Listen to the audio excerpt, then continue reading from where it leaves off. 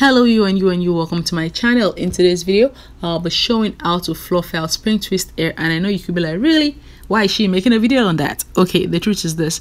With spring twist hair you have to do this carefully. I mean if you've been doing spring twist or if it's a style you do often you know that the hair is very very tricky especially when you're buying the hair from amazon. Every bundle you get could be different. Trust me i've got stories for days. Sometimes the hair could come really soft and um, it can it can come really soft and silky. And fluffing it out is an easy breeze while sometimes it could just be easily be a nightmare to fluff out.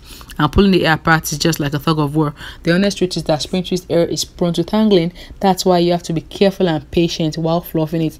Another thing with the style is that you cannot cheat the process by using a pre-fluffed um pre-fluffed um, spring twist hair now you will not get the same result a few brands now make pre-fluffed um, spring twist hair but when you use them your twists they will be super uniform and they won't be like crinkled fluffy you know spring you know the way you like spring twist hair um spring twist looking like you know just interesting kinky looking especially when you're going for the smaller size um, twist. So in my opinion your best bet is just to go for good old spring twist hair take your time fluff them out gently and i promise you you will love the outcome of your style. And at this point i'm just going to stop talking and let you enjoy the video.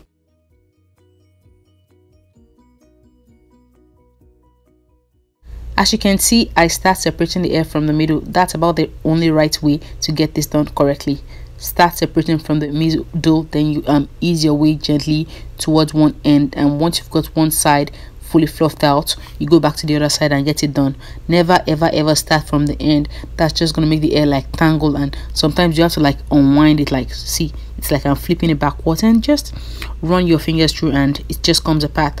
Then depending on the size of the twist you're you're doing like this particular one i'm doing now i'll be splitting each piece of hair in three.